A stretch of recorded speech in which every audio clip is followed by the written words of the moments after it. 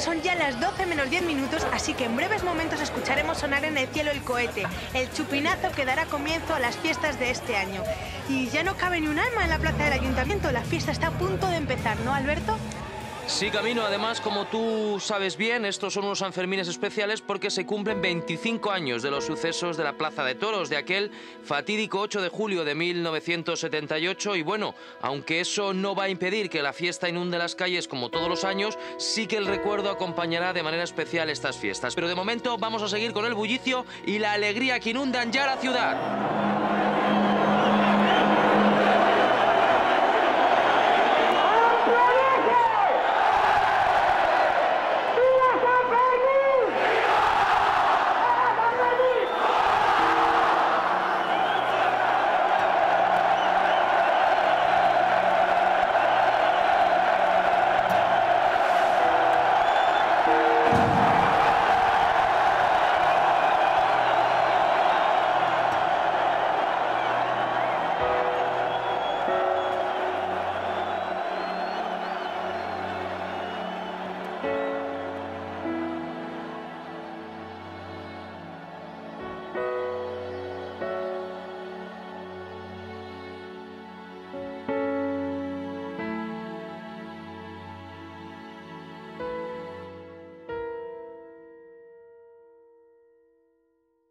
La víspera de los Sanfermines del 78 mm, era una época en que efectivamente aquello estaba muy, muy complicado. Yo le llamaba un barril de pólvora eh, porque veía lo difícil que estaba todo aquello. Se veía que había siempre un interés extraordinario en forzar a, las fuerzas de seguridad a, llegar hasta el extremo, eh, como si quisieran, eh, bueno, como si quisieran, tenían un interés extraordinario en forzar la cosa y veía que era muy difícil que aquello no explotase por un sitio o por otro. Para esto no hicimos el 36.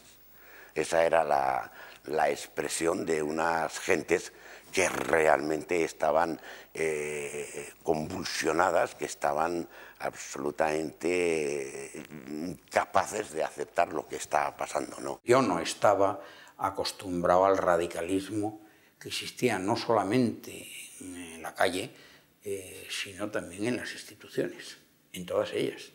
Hay que verlo con perspectiva histórica. Pamplona en aquellos años era una olla a presión en constante ebullición y, y, cualquier pequeña chispa generaba un incendio de proporciones descomunales. La pasada noche se han registrado nuevos enfrentamientos entre la policía ha efectuado varios disparos de pelotas de goma dispersando a este grupo. De la Guardia Civil tuvieron diversos enfrentamientos con grupos de manifestantes. Se ha parado en fábricas y han sido numerosos los comercios. Toda la provincia de Guipúzcoa está parada. Industrias, comercios, medios de transporte. Acordaron continuar el paro desoyendo el llamamiento de los partidos políticos y de las centrales sindicales. Y entonces se daban las dos cosas, la, ilusión y la esperanza por la muerte de Franco y la caída del franquismo y la realidad que hacía ver que, bueno, que con el PSOE y el PC eh, que querían hacer una, transi una, transición sin pedir cuentas y, y más o menos eh, los que tenían fundamentalmente el dinero y el poder militar que, iban a ser, que no iban a ser tocados. Los Sanfermines, si algo son o algo eran, era una fiesta popular, reivindicativa, donde uno parece que busca la, la, vuelta a la tribu, la vuelta a los orígenes y también pues desinhibición y desrepresión. Y claro, eso en el periodo de la transición era también desinhibición política. Era el placer de ir por la calle y gritar contra el gobierno, gritar contra la policía, meterte con la Universidad del Opus o con lo que te diera la gana, sin que hubiera una intervención represiva. Y ese ambiente eh, impregnó todos los Sanfermines de la transición. Se aprovechaba cualquier momento para hacer una, la reivindicación oportuna de lo que creyeran conveniente. Y entonces, claro, con ese caldo de cultivo, pues unos eh, por un lado y otros por otro, pues estalló el conflicto. Las fiestas de San Fermín tienen, como es sabido, su rito puntual. El reloj, la hora, el cohete. Cuando el estampido de la pólvora se propaga en el aire, comienzan el jaleo, la danza y la música. El cortejo avanza por las calles de Pamplona, de una Pamplona jubilosa, que ha iniciado con redoblado alborozo sus festejos sanfermineros.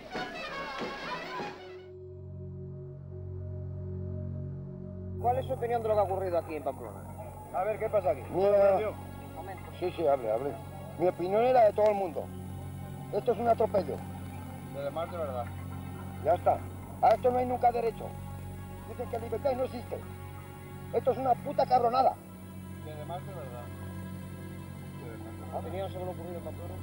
Bueno, pues son unos hechos que verdaderamente son muy desagradables y, a- y además que han sido, han sido provocados por la fuerza pública. Yo soy forastero, no soy de aquí, pero considero que es una injusticia totalmente. Y que hay que buscar cabezas responsables y además tomar medidas severas y con mucho uso de razón y conocimiento para que esto no vuelva a suceder. La televisión es una mierda.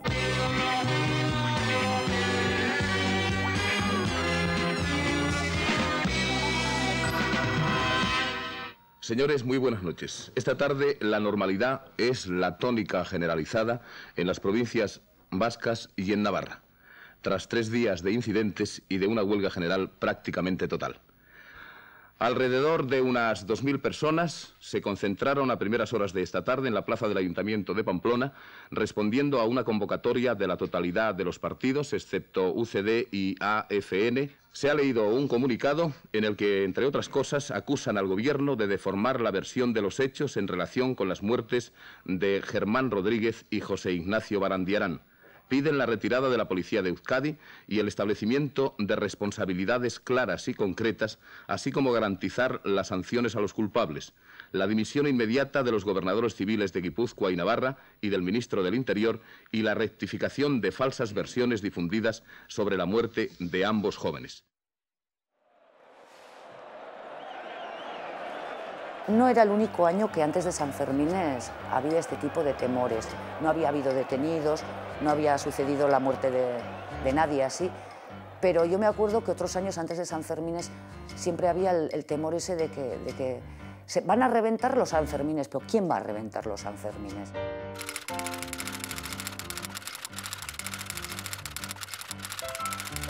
Fueron unos días muy raros, muy raros porque salían cualquier día, los de la extrema derecha salían con los, botes, las- los bates de béisbol y las cadenas a, a- a la calle. Alguien me debió de, de- de darse cuenta del tipo de, de mentalidad que yo tenía y creyeron más conveniente que el, el- entonces no era el comisario jefe, que era, que era mejor que el inspector de servicios de eso no se enterase. ¿no?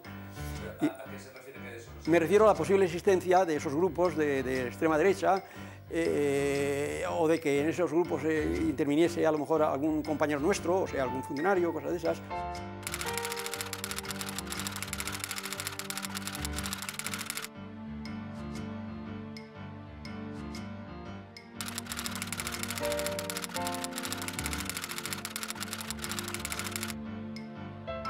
Ha habido un follón en la calle Chapitela, que si habían salido los de extrema derecha y que de repente que habían intentado empezar a, a pegar a la gente y tal y cual, y que luego se había juntado una serie de gente allá en Chapitela y que les hicieron frente. Y luego, pues lo, lo que salió en la prensa, que si alguien le había dado un navajazo al teniente Severri, pero que no iba como teniente Severri, era como miembro de, de extrema derecha. Pues se trataba con suma delicadeza, porque eh, la actuación de las fuerzas de orden público respecto de estas personas era bastante pasiva, hasta mm, eh, épocas que, en las cuales yo ya no estaba en el gobierno civil. ¿Mm? Eso es lo que puedo decir. No puedo decir nada más. Bueno, pregunte usted y ya veremos. ¿Cuál era, cuál era la razón por la que había esta, esta pasividad?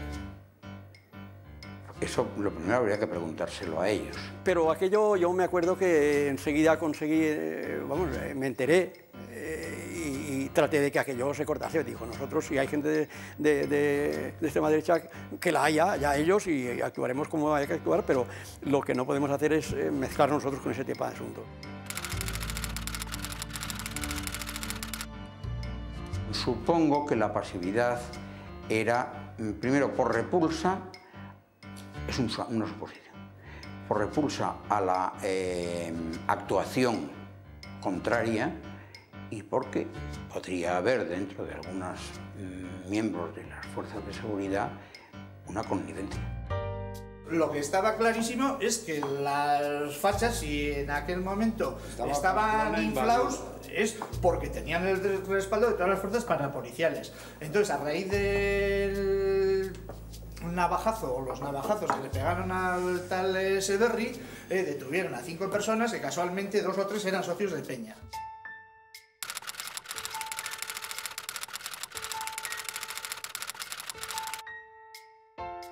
Y al principio no sabíamos nada de qué se les acusaba, de qué no se les acusaba, y ahí surgió un movimiento pues, de, petición de, la libertad de esta gente.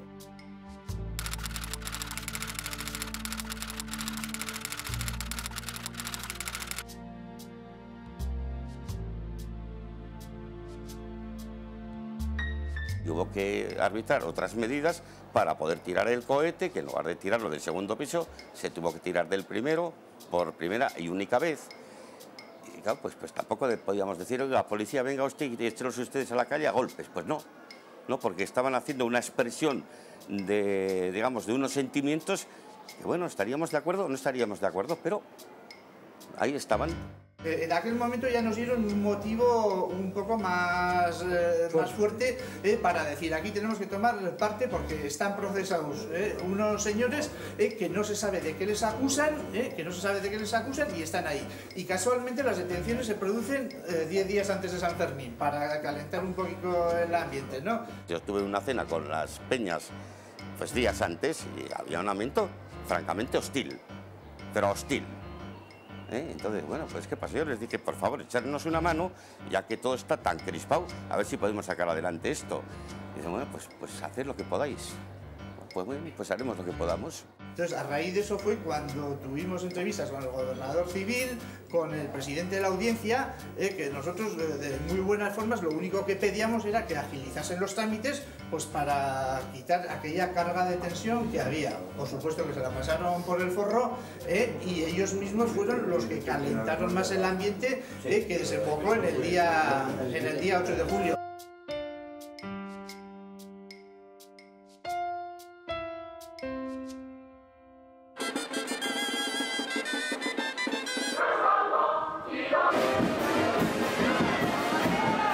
Salido la policía. Y, y ellos, nada, tranquilos, oye, que no pasa nada. Y le digo, no, aquí va a pasar. Se habló de que en los Sanfermines había que tener mucha mano ancha, especialmente en la Plaza de Toros. No actuar. Consideraba yo y consideraba Rubio que la actuación de las fuerzas de orden público dentro del conglomerado y relacionado con el entorno de la Plaza de Toros sería nefasta, como ocurrió. ¡Oh, todo! Todo. Aún me acuerdo y se me pone la cara de gallina. Es que fue horrible. La Plaza de Toros era una ratonera para una actuación policial. Aquello pensábamos que si había que intervenir aquí, ni por mucha compañía de reserva que hubiera, aquello era, podía ser un, un, un, algo terrible. Y que había que evitarlo por todos los medios. Eso se quedó así claro. Y sin embargo después se armó allí.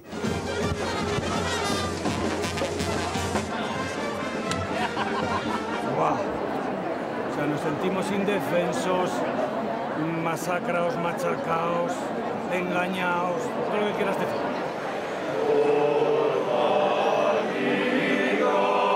¿Por qué determinadas personas anulan sus, eh, sus reservas? Eh, ¿Por qué hay esa, esa, presencia policial tan masiva que no es, no es fruto de, de, la casualidad?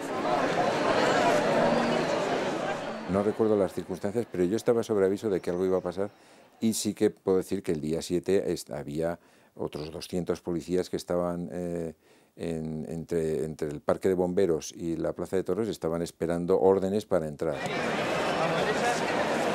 Corriendo por todos los sitios porque había una confusión de, policía, de ambulancias, de todo, no sabes lo que pasa, una angustia terrible. Cuando el sexto toro terminó, estuve con Llano, efectivamente le dije, coño, no ha pasado nada, adiós, gracias. Y me fui con mis suegros. Joder, pero al salir de la Plaza de Toros el Dios todo invadido de policía, ¿pero qué es esto? Yo calculo que entre que pudieron saltar al ruedo y la entrada de la, de la policía, pues no habrían pasado más de, de cuatro, tres, cuatro minutos. Venga, chamaco.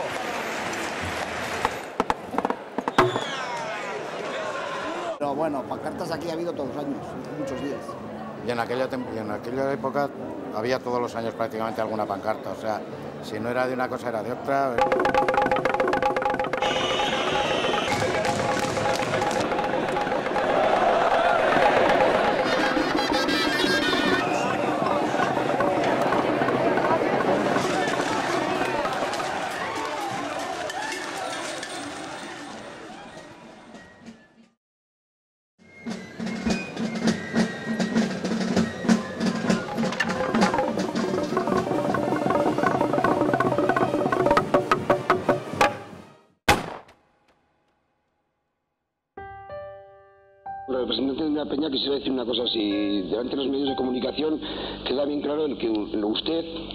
Ha dado la orden de que la policía interviniese para separar esos dos grupos.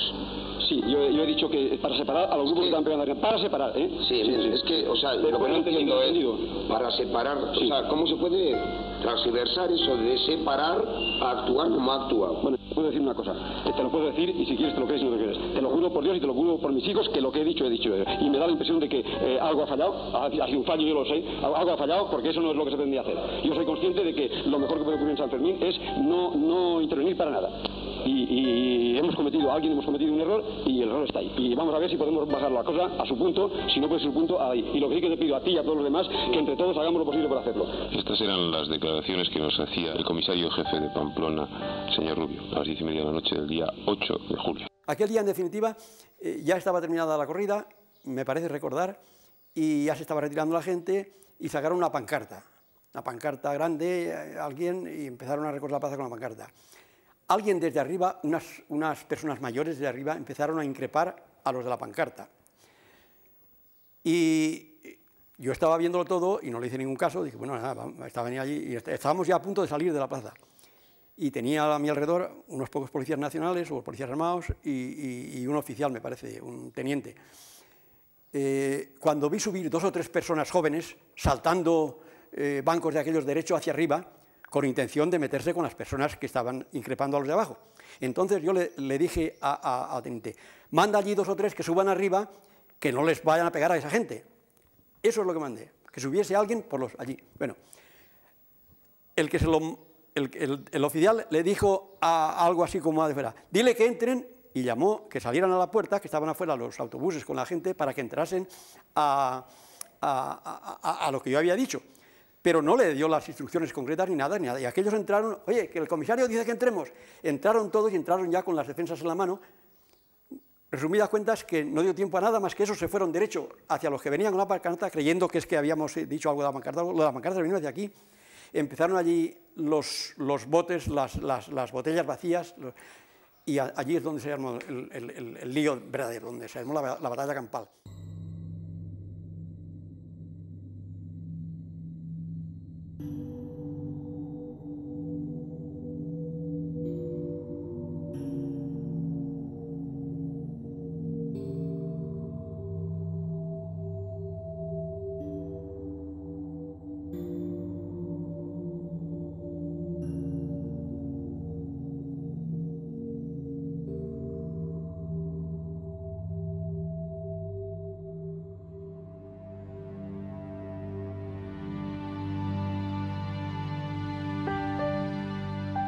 Entonces en ese momento entran los chiquis, las peñas chiquis, y detrás de ellos entra la policía, toda hostia.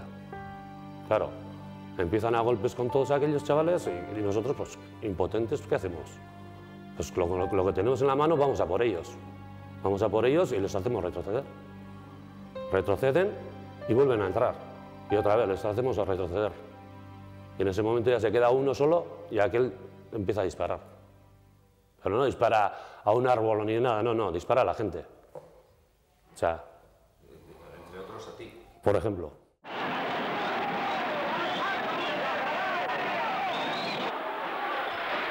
A las diez y cuarto de la noche se producían nuevos enfrentamientos en las calles de la capital navarra cuando un grupo de manifestantes se dirigía al gobierno civil para protestar por la intervención, pocas horas antes, de las fuerzas de orden público en la Plaza de Toros. El edificio de la Guardia Civil le pasó que tenía toda la fuerza fuera y tenía exclusivamente cuatro personas en las esquinas vigilando.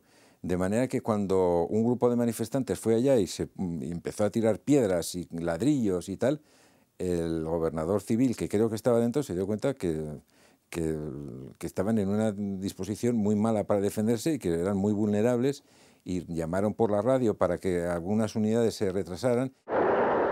Vamos a ver si te pones de acuerdo con Vulcano 2 ¿eh? y a ver si coges a esa gente por la espalda y empleando únicamente la goma, únicamente la goma, a ver si disuelves un poquito todo lo que hay delante de la Diputación. En el caso de que te tiraran piedras con eso, entonces claro, repetes la agresión. Adelante, cambio.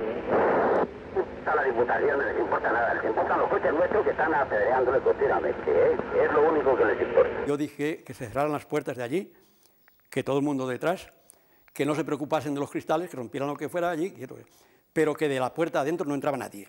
Es decir, que de allí que no se dejaba entrar nadie, dando a entender que aquello había que defenderlo. No podíamos dejar, como fuera, yo no puse ningún límite, pero hasta allí. De allí para afuera, que hicieran lo que quisieran y ahí no se de nada, porque era una situación que yo entendía que valía la pena de dejarnos más de lo que estaba pasando, ya no podía pasar. A las 5 de la mañana todavía estábamos en el ayuntamiento, pues por los balcones tirados, viendo lo que estaba pasando, porque claro, había allí una... Uf, de todo había, de todo. Parecía una guerra de guerrillas aquello. No sabíamos nadie dónde estaba casi nadie, era, era, fue un, una noche, vamos, imposible de describir. En el hospital de Navarra, Javier Arteta Pascual, herido de bala en mano. En la residencia sanitaria Virgen del Camino permanecen las 16 personas que ingresaron. José Ramón Vélez de Mendizábal, herido de bala en el abdomen, fue operado, evoluciona Miguel Fernández Díaz de Cerio, operado de herida de bala, alojada en región subescapular. Hoy se le practica una intervención de extracción. Félix Ilunda en el busto, herido de bala del brazo derecho, evoluciona En la clínica de San Juan de Dios han sido dados de alta cinco de los seis heridos de bala. Es el herido grave Jesús Gracio Martín, herido Finalmente en la clínica universitaria de bala en el brazo izquierdo, herido de bala. A las 12 y 22 minutos ha llegado el cadáver portado a hombros por camaradas de Germán. Y me acuerdo que había unos chavales catalanes, una moceta que estaba histérica, perdida, con un ataque de nervios tremendo. Le tuve que hacer una manzanilla y hacia las 10 y 10 o así, de repente me empecé a poner yo histérica. Y me dio una cosa así, como... Y les dije, ay, no sé, tengo una sensación, un yuyo horrible. O sea, es que algo le ha pasado a alguien de mi cuadrilla. ¿Y tuvisteis algunas palabras antes de que esto sucediera? Sí, eh, me habló él porque él había estado en la plaza de toros, entonces estaba nervioso, tenía los ojos llorosos y me dijo que estaba bastante, bueno, muy enfadado porque había visto a un chavalín con la cabeza destrozada por una pelota de goma. Había visto a algún otro herido, había visto cómo habían atacado tan brutalmente en la, en la plaza de toros y por eso estaba nervioso y muy cabreado, muy cabreado estaba y de repente, nada, a pocos metros, eh, pues os empiezan a oír tiros. Entonces, el primer tiro, no sabes de qué, te agachas y debajo un coche, ¿no? Y, y recuerdo que de al lado, que resulta que era Germán, dice, pero estos son tiros de verdad, porque eran como muchos, muchos, ¿no? Pues si parecen tiros de verdad. Y entonces salía de la ducha y, y apareció mi padre. Y mi padre estaba blanco. Y detrás de mi padre vi a los amigos, algunos de la cuadrilla, y empezó mi padre, miren, es que, es que, es que, es que, es que le han, le han, le han... Y al final le dije, fui yo la que le dije, le han matado a Germán, ¿verdad? Y en un momento, está aquí al lado, tac, se, se cae para atrás. Se cae para atrás, o... Sí, y le miro y, uy, y bueno, y tenía pues eso, la, herida aquí, ¿no? Eh... Joder, corta un poco la hostia.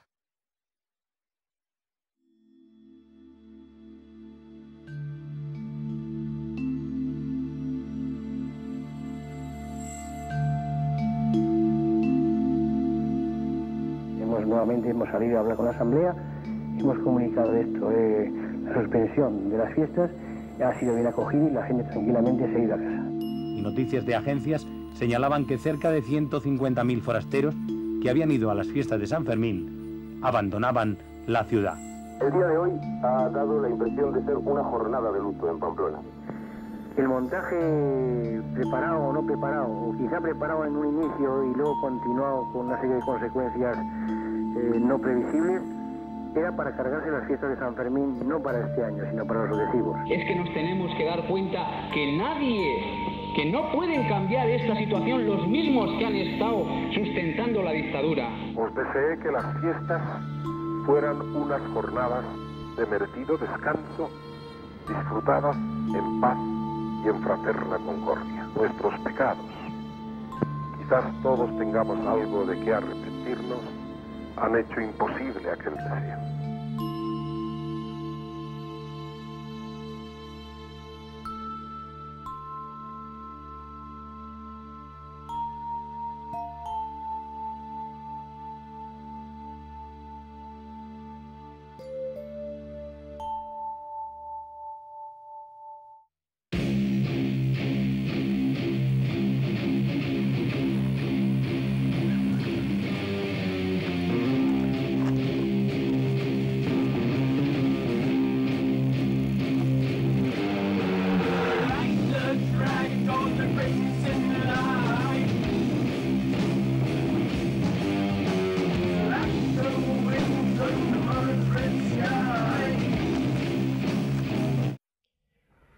Parece evidentemente innecesaria la justificación de su presencia esta noche ante las cámaras de televisión española en esta urgente y no por ello menos esperada rueda de prensa.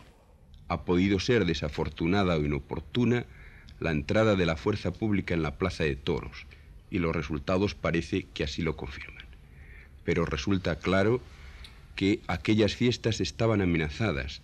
Ustedes mismos, la prensa, habían hecho comentarios, en cierto modo podrían resultar insólitos, diciendo que qué bien que parece que los Sanfermines empezaban con una cierta tranquilidad. Es porque había presagios de intranquilidad. Intranquilidad que no habían producido las fuerzas de orden público. Es necesario que el protagonismo político que claramente tienen los partidos políticos con representación parlamentaria se constituya en un protagonismo eficaz que colabore también con nosotros, que colabore también para la crítica, pero que colabore también con la misma firmeza para condenar unas y otras conductas. Al fin y al cabo, lo nuestro serán errores, lo otro son crímenes. Gracias, señor ministro. Gracias, señores. Cuando faltan tres minutos para las once de la noche, muy buenas noches.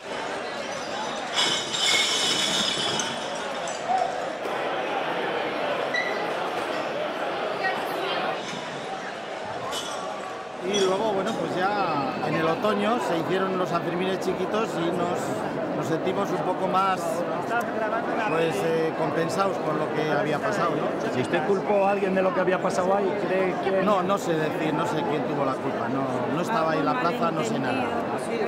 No sé.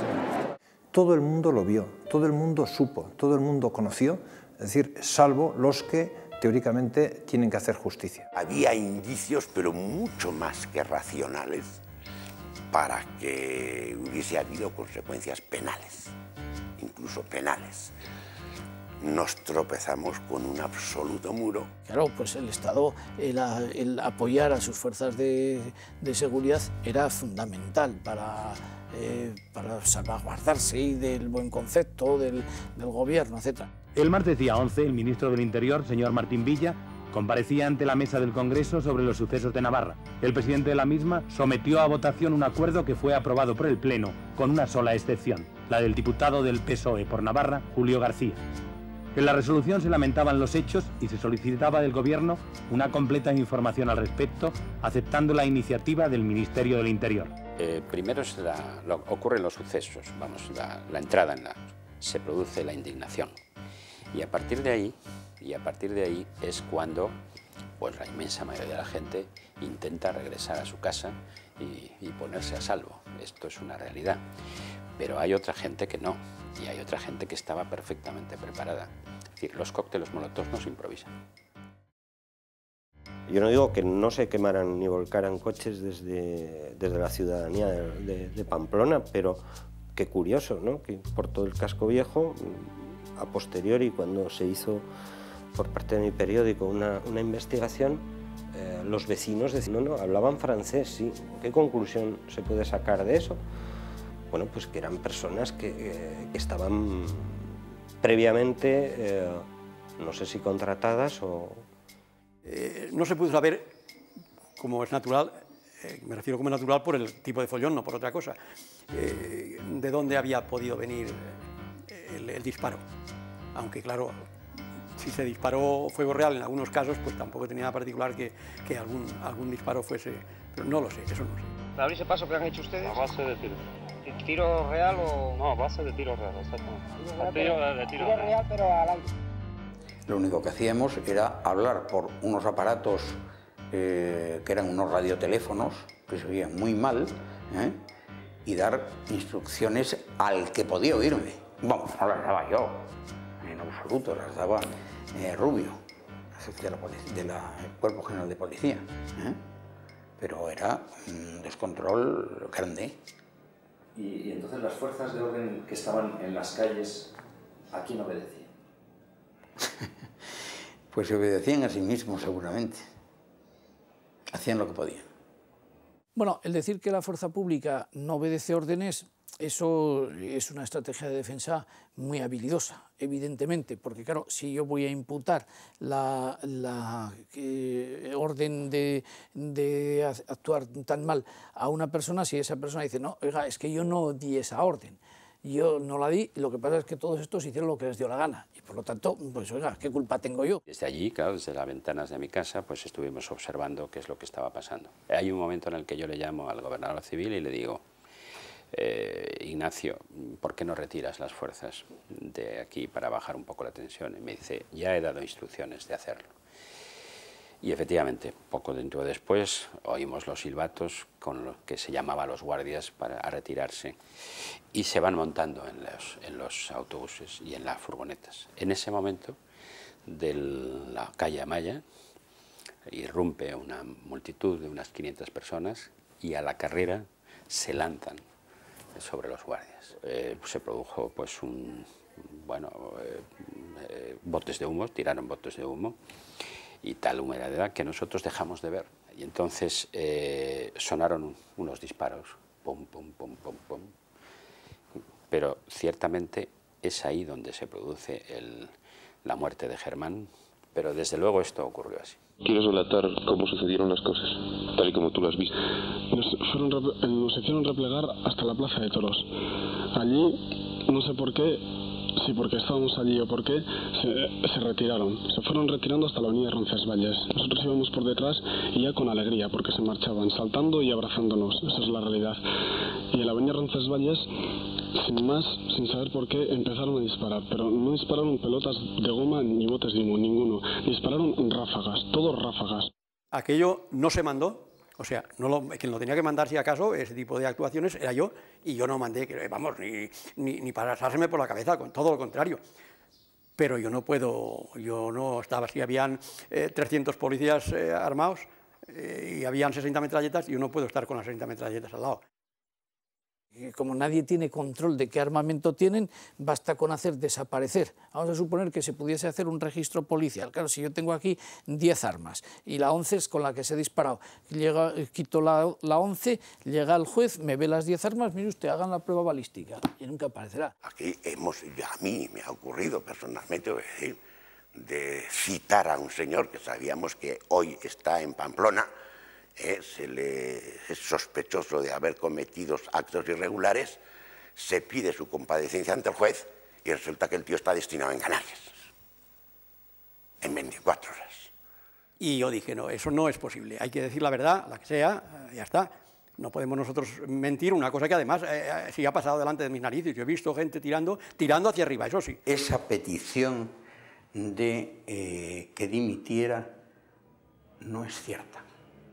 La auténtica realidad es que yo dimití personalmente con conversación telefónica a Rodolfo Martín Villa después de la rueda de prensa. Y fue Rodolfo Martín Villa el que presentó la dimisión que yo había hecho como una cesación por parte del Ministerio. La realidad es que yo dimití personalmente. No estaba dispuesto a que todo lo que estaba ocurriendo en Pamplona ¿eh? siguiera aguantándolo yo sin tener el más mínimo, la más mínima culpa. Eso fue una cosa que eh, cuando las cosas se, las cuerdas se tensan tanto, llega un momento que se rompen. Y aquello lo que pasó allí. Y además, lo de la plaza, que es lo más grave, me parece a mí, o sea, una de las cosas más graves, fue debido a ese tipo de, de confusión entre unas cosas y otras. Eso lo he explicado y me parece que es el eje de la cuestión. Pero en cuanto a que hubiera una organización, y que, rotundamente no, rotundamente no.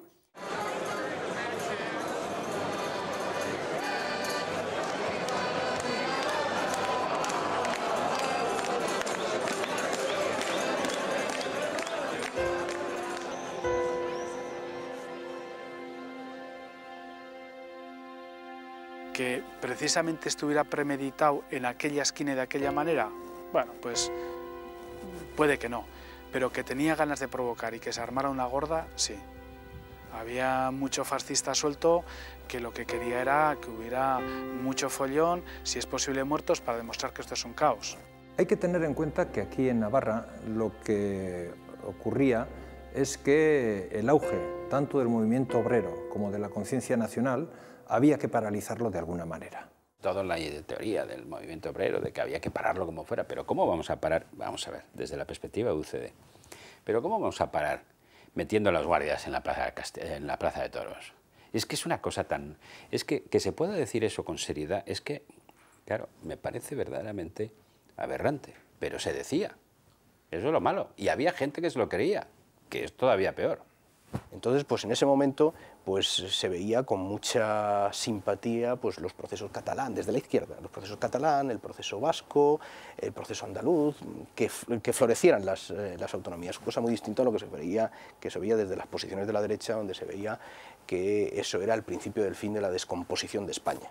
¿no? Lo que sí puedo decir es que no estaba de acuerdo con alguna de las actuaciones políticas que se estaban realizando y que esas manifestaciones las manifesté por escrito y de palabra al, Ministerio del Interior. ¿En qué cosas en concreto no estaba de acuerdo usted? pues en la inclusión de Navarra dentro del Estatuto. En un país vasco que incluyera las dos comunidades autónomas actuales, Navarra y Euskadi, evidentemente el peso político que la derecha tenía en la comunidad de Navarra se diluía. 20.000 20 kilómetros cuadrados, 3 millones de habitantes, no sé cuántos kilómetros de frontera, no sé cuántos kilómetros de costa, eso es un país. ¿eh? Y eso es lo que había que evitar, que eso tuviese dimensiones y tuviese conciencia eh, incluso geográfica de ser país.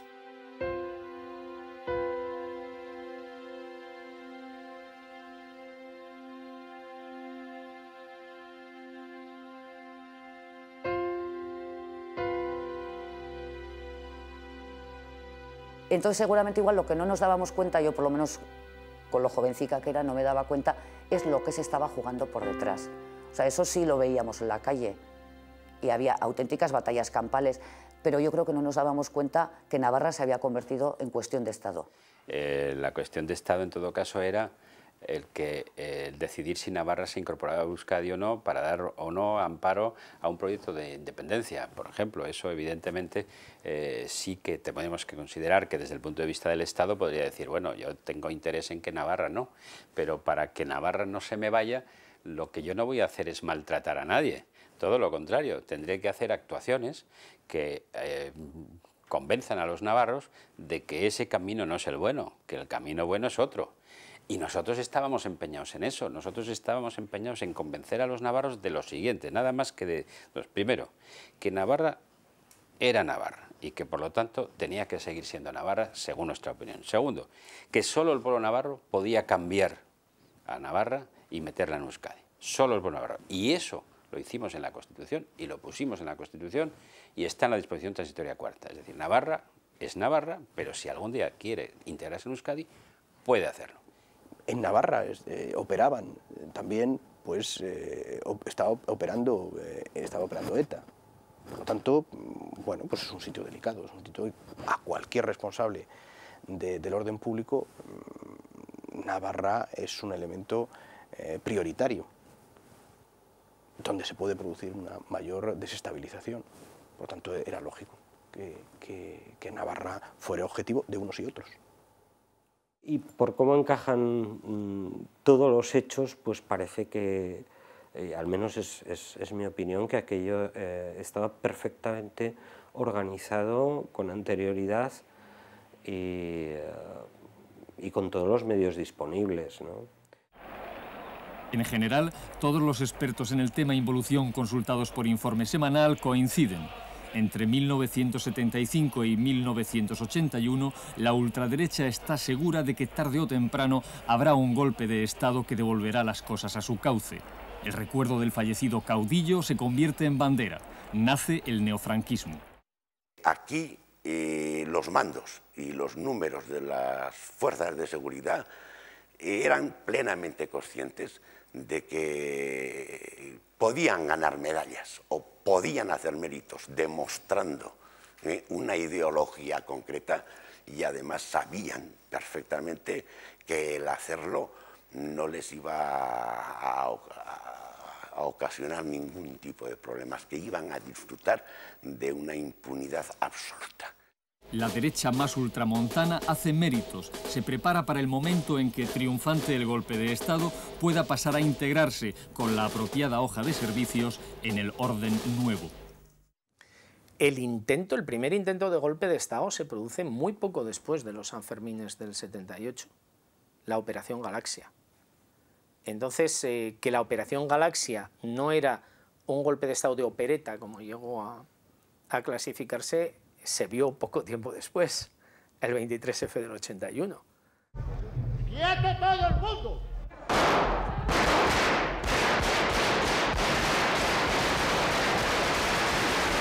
Son unas fiestas populares, esto es mi punto de vista. ¿eh? Son unas fiestas populares, eran, y son, y seguirán siendo, me figuro. Y estos quisieron dar un golpe de Estado. Y si les sale bien en Pamplona, ¿eh? se acabó la predemocracia y todo el copón, santísimo. Bueno, eso es una ridiculez. Un golpe de cada de quién contra quién. Ah, de, de, de, niveles policiales que se rebelan contra los mandos. Hombre, no, yo creo que fue un acto de desobediencia que trajo unas consecuencias, que tuvo unas consecuencias trágicas, ¿no? Y nada más, vamos a darle más, eh, yo creo que no, yo creo que eso fue una... Vamos a ver, los policías que entran estaban en la parte exterior de la, de la, del, de la Plaza de Toros. Los policías se mueven por las órdenes que les dan, o sea que ahí no hay preparación ninguna. Estos señores estaban ahí, pues como habitualmente están, y en previsión de que pudieran ocurrir cosas, pero bueno, pero nada más, estaban ahí tranquilamente, tranquilamente, en situación de vigilancia, pero nada más.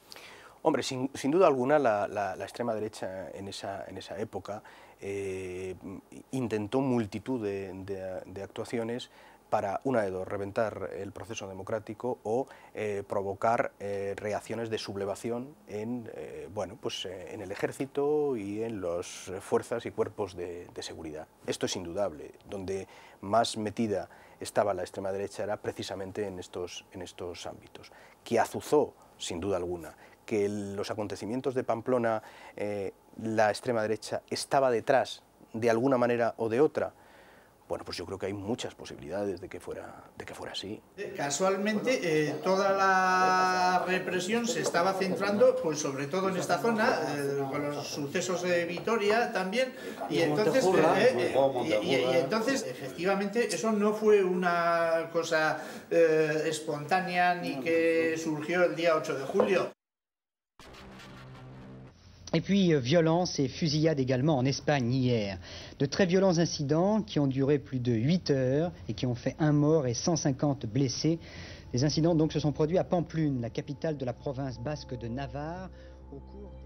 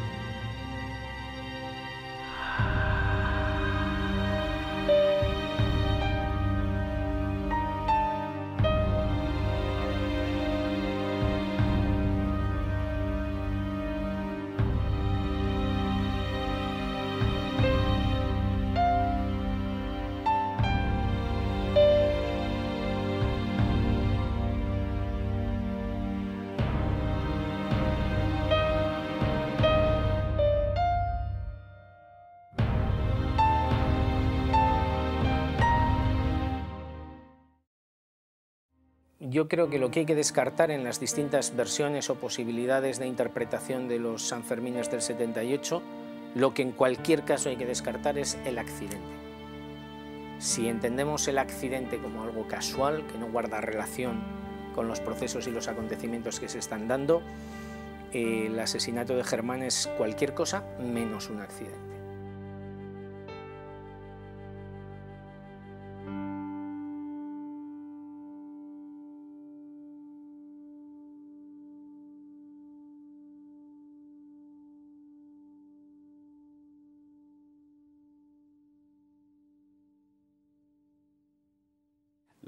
Es ridículo es algunas de las acusaciones que se nos hicieron a nosotros, de ser nosotros los que habíamos organizado.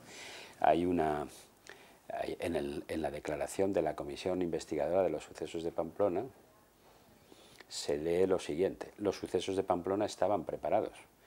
¿Y por qué? Pues todo esto provenía de la política que UCD ejerce sobre Navarra, creando un clima de violencia y de terror para que los ciudadanos no sean libres a la hora de decidir la incorporación definitiva de Navarra a Euskadi. Es decir, es justo lo contrario de lo que nosotros pretendíamos. Porque si alguien piensa que los sucesos de San Fermín beneficiaban a UCD de Navarra, pues se equivoca radicalmente. Mi sensación personal es que fue un error. ¿De quién? Un error mutuo por parte de los eh, peñas, de los eh, eh, fundamentalmente de los radicales que influyeron en las peñas, porque yo creo que la actuación de las peñas era buena y sigue siendo buena, el responsable de esa, del 78 es Martín, es Martín Villa. La calle es mía. No, Martín Villa, por supuesto. El comandante planificó el comandante Ávila. Pero estará, estará, ese fue un hombre que vino a Pamplona a sustituir a Joaquín Imaz, que había sido asesinado por ETA en la Plaza de Toros. La sensación es de eh, una irresponsabilidad seria. Pero por dos partes está hablando. Sí, sí, claro. La otra parte sería el, el comandante Ávila. Así lo creo, por eso, por eso le, le cesé de su cargo.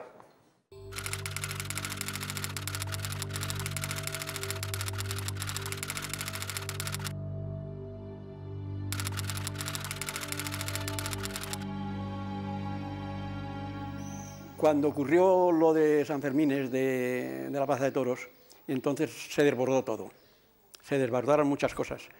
Y entonces el comportamiento del, eh, comandante Ávila yo creo que eh, fue como consecuencia de todos los acontecimientos, eh, fue pues muy intenso. Y yo tenía, como digo, la confidencia de que la policía iba a hacer algo porque el comandante Ávila no había venido a Pamplona exclusivamente a sustituir a, a, un, a, un, colega suyo de profesión, el comandante Imaz, sino había venido a dar un escarmiento a esta ciudad porque esta ciudad era muy rebelde.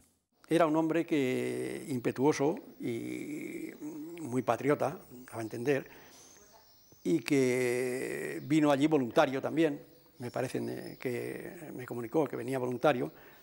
Que el comandante Ávila llegara allí mmm, a través de un juicio, bien, pero una vez que estaba allí, con el conocimiento que tenía de, la estructura de, del Estado, de las fuerzas y cuerpos de seguridad y del ejército que tenían estos sectores de la extrema derecha, era cuestión de aprovechar lo que tenían. Así actuó la extrema derecha durante muchos años, sin capacidad para, para tomar determinadas decisiones, pero aprovechándose de la situación que había hay alguien que da la orden, y la orden solo la dio el comandante Ávila, no lo dio más, no, lo, no, no, la dio el comisario y no la dio el gobernador, que estaba en la plaza, y que ya insisto que lo dejaron absolutamente abandonado. Por lo tanto, yo creo que ahí es donde hay que circunscribir esa orden, y esa orden fue lamentable, y fue muy errónea, y fue, bueno, que pudo, además provocó unas consecuencias políticas muy malas para nosotros. ¿Y el comandante Ávila, en el momento que usted lo destituye, desaparece de la escena? Desaparece completamente. Eh... Que yo sepa, desaparece de la escena, porque yo no lo metí en mi cuarto. Donde sí me acuerdo bien es que luego por la noche, cuando ya sitiaron el gobierno civil, entonces sí, entonces sí vio que salían, entonces hubo, salían con los jeeps eh, a hacer recorridos por la ciudad y entonces sí que lo vi actuar a él y lo vi además luego que el gobernador civil le llamó para que estuviera allí y que eh, le dijo que se quedase allí con nosotros o algo de eso, pero en aquel momento yo no lo sé, ¿eh? en aquel momento no lo sé. Y sé también que estaba me parece recordar que no iba de uniforme cuando por la noche, cuando me parece recordar que llevaba un jersey, pero esto tampoco podría asegurarlo muy bien, ¿no? Sí, sí, sí, sí. Hay una grabación, yo la escuché al día siguiente, me parece, y en, la que a el comandante Ávila le ordena a, a los miembros de la Policía Armada que no se anden con chiquitas y que disparen si tienen que disparar pero ya no solo para defenderse, sino para abrirse paso. Es decir, que quien mandaba la fuerza era un, eh, era un imprudente, por decirlo de una manera suave, total, porque a nadie en su sano juicio se le puede ocurrir que en San Fermines, para retirar una pancarta de la Plaza de Toros, haya que meter a 200 policías en, en la plaza y disparar y organizar lo que este hombre organizó. Bueno, yo disponía de un aparato poco sofisticado eh, un aparato de radio, un receptor de radio un tanto sofisticado, tenía perfectamente bien controladas las ondas de, tanto de la policía como de la Guardia Civil. Lo tenía conectado además a un sistema de grabación por entretenimiento, por hobby, de mis tiempos de Venezuela, de la soledad que la, que la cubría muchas veces, mi, mataba mi ocio de esa manera, ¿no? Tenía esa afición. Tengan un poco de cuidado que han tirado un bote justo debajo de nuestro avia, cambio. Defender el avia, cojones, y defenderlo ahí como sea. Padre Bastión, adelante, cambio. Dar la vuelta a la plaza, preparar todas las bocachas y tirar con todas las energías. Y lo más fuerte que podáis, no os importe matar. Adelante, cambio. El buscador, refrena el vocabulario, habla estrictamente de indispensable y no te pases cambio. Y repeler lo que nos están haciendo. Estos 200 o 300 hijos de la gran puta que están aquí. Repelerlo como los procedimientos que tenéis. Tenga vocabulario y limítese a como se ordena. Sí, a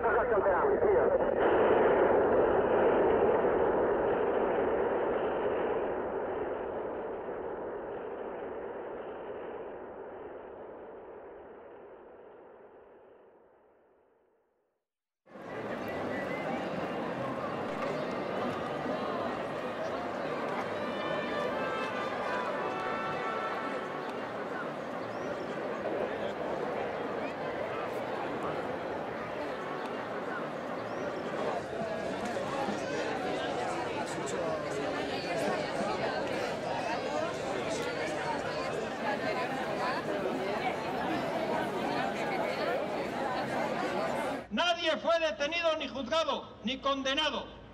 Y sin embargo, si algo había, eran pruebas y testigos. A los 25 años de aquel asesinato, hoy nos concentramos aquí para renovar el compromiso adquirido ante el cuerpo sin vida de Germán. Nosotros no olvidamos, Erriak es Creo que cometimos un error, por lo menos un sector, mi sector de la ciudadanía.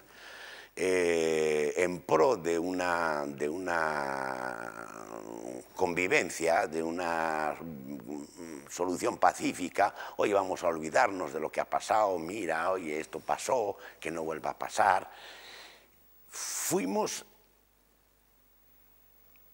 excesivamente, incluso casi absurdamente eh, generosos ¿Y a usted le parece bien que se siga recordando 25 años después lo que pasó? Hombre, sí, para que se sepa, ¿no?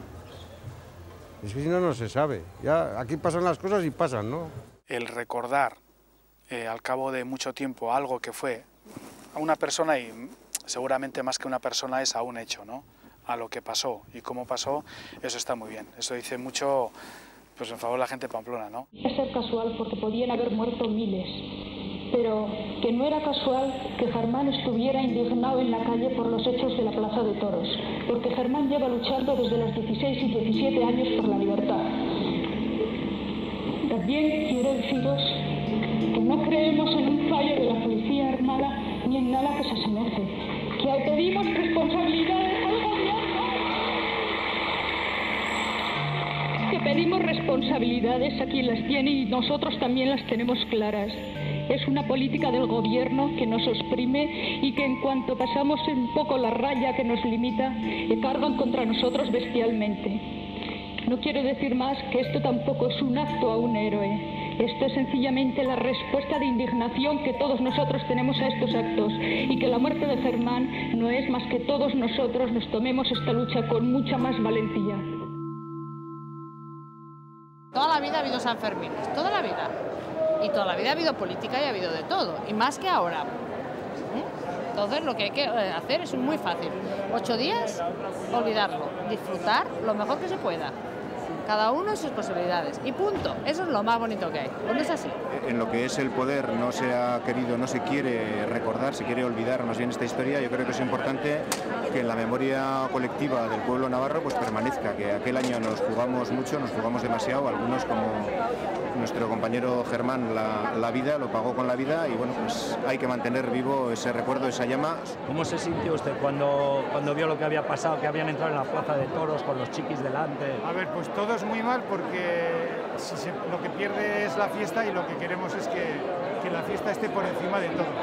Y en días como estos lo que tiene que hacer es aparcarse toda idea política y hacer lo que todo nos une, que es la fiesta y San Fermín.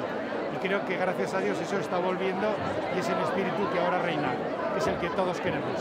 25 y 30 y todos que vayan recordando no solamente este caso, sino los de Vitoria y los de todos los me parece que, que, por ahí pueden ir los tiros. En este momento el intentar hacer rentabilizar para no se sabe muy bien qué causa, porque tampoco estoy seguro que Germán fuera un Aberchale radical en el sentido de, de pertenencia a ETA o de vinculación con ETA, tampoco creo que fuera así. Probablemente estaba en un movimiento social revolucionario, pero no en un movimiento proletar. Y los que intentan aprovecharse de estas circunstancias son los proletarios, no nos engañemos. Que han sido unas personas que en una lucha por una España mejor, cada uno lo vería a su manera, pero ellos creían que así iba haciendo, igual que otros lo ven de otra manera, esas personas han dado su vida o han dado su libertad o han dado un brazo o han dado lo que le ha pasado, ¿no? Y, eh, y así, ese reconocimiento me parece bien, pero que no se trate ni en ningún, en ningún lado ni en el otro de volver a cargar la moneda y que eso sirva para exacerbar otra vez ánimo y cosas de esas. A esas situaciones no hay que volver a, volver. Y la sociedad española se merece y creo que tiene ahora o, una situación muy diferente a aquella. La, democracia española tiene una, deuda altísima no solamente con aquellos que cayeron defendiendo la democracia en, las calles, sino con todos sus familiares, con todos sus seres queridos, con todos sus amigos, que de alguna forma eh, mm, aceptaron ese sacrificio como un eh, elemento fundamental para ir consolidando y ir poniendo los ladrillos de la, de la nueva democracia. No sé si se acaba perdonando, no lo sé. Eh, o se acaba... Lo que no está clarísimo es que no se debe olvidar. Lo que está clarísimo es que no se debe olvidar. En sentido positivo, no en plan revanchismo, no, no, no, sino en plan pedagógico y en plan de dignificación. Es verdad que las víctimas merecen, eh, las víctimas de la violencia política merecen un respeto eh, evidente, pero todos, pero todos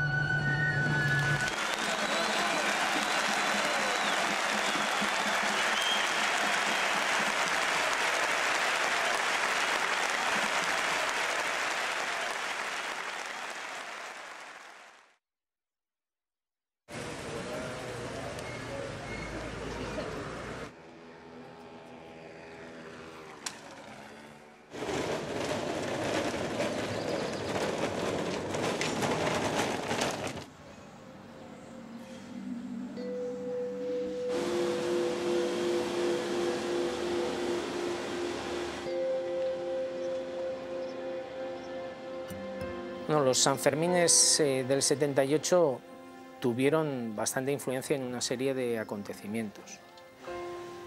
En algunos institucionales, yo creo que en el propio proceso de la Constitución, eh, para llevar a los dirigentes de izquierdas a cerrar rápidamente el pacto constitucional por miedo a que el movimiento aún se les podía escapar de las manos, que era un peligro que siempre veían, tuvo una influencia muy directa en la gente, de frustración hacia las organizaciones tradicionales y creo que fue un elemento decisivo en el proceso de fortalecimiento de Ribatasuna. Ribatasuna se había formado unos meses antes, en abril. Yo creo que eh, fue un hecho absolutamente lamentable donde además se rompieron sin lugar a dudas muchas ilusiones de mucha gente que pensaba que una vez muerto el dictador aquí se podía establecer un régimen de libertades democráticas donde absolutamente todo se pudiera hablar, comentar, discutir y que el poder estuviera en el pueblo para darse cuenta de que realmente se habían cambiado las formas pero no se había cambiado la realidad del sistema que habíamos estado padeciendo durante los últimos 40 años. Y es más, yo estoy convencido de que si se diera otra vez la circunstancia, volverían a hacerlo. Porque nunca he visto ningún arrepentimiento, ni ninguna... Eh, ni aceptar, ni admitir que han actuado mal o decir, sí señor, nosotros hicimos esto. Descansar realmente. Hace mucho. Aquello era una situación terriblemente complicada. ¿No le quedaron ganas de seguir en la carrera política? En absoluto, en ningún momento. Eh, tenemos una capacidad tremenda de organización y yo creo que eso sí que es, eh, de alguna manera, la herencia que nos dejaron aquellos años de lucha. Y a mí me parece que eso es muy importante. Y a pesar de que ahora pues, eh, la situación política que tenemos, la verdad, no es la, más, la mejor, ni mucho menos, yo veo que la gente tiene, sigue teniendo ganas de, participar y, ganas de luchar pues, por, nuestros derechos y por lo que es nuestro. Y ese mismo día nos venimos a Pamplona porque aquí estaba la actualidad y la noticia. En unas fiestas a las que habría que cambiar en algo su tradicional canción y decir aquello de 1 de enero, 2 de febrero, 3 de marzo, 4 de abril, 5 de mayo, 6 de junio y en lugar del 7 de julio, 23 de septiembre, San Fermín.